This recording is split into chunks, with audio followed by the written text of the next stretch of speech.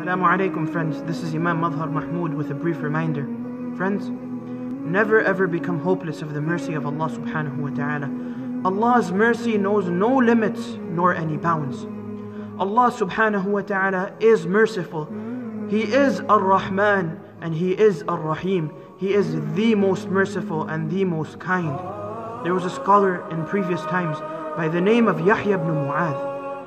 Once Yahya was sitting, rahimahullah, and there was a man near Yahya reciting the Quran. The man came upon the verse where Allah subhanahu wa ta'ala commanded Musa and Harun alayhim salam to go to Fir'aun and address him in a gentle manner.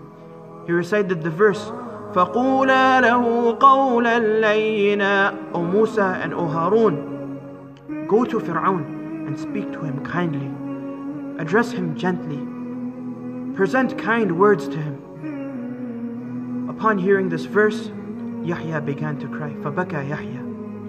And he addressed Allah subhanahu wa ta'ala. He spoke to Allah saying, Ilahi, O my Lord, هذا رفقك بمن قال أنا الإله. O Allah, how merciful are you. This is your mercy and softness towards a man who once upon a time said, I am God, I am a deity.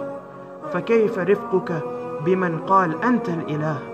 O Allah, then how is your mercy towards that man or woman who says that you are the Lord?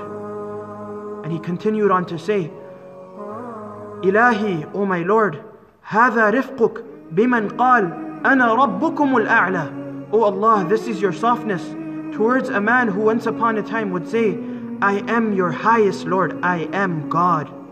فكيف رفقك بمن يقول سبحان ربي الأعلى O oh Allah, then what is your mercy and your kindness and your softness like towards a man or a woman who prostrates and says, Glory be to Allah, glory be to my Lord the highest.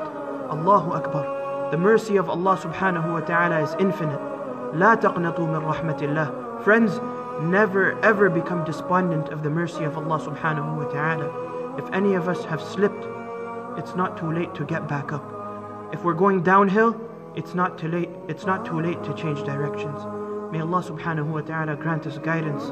May Allah subhanahu wa ta'ala facilitate eternal success for us. And may Allah subhanahu wa ta'ala give us the true realization, the genuine realization of His mercy. Ameen ya Rabbil Alameen.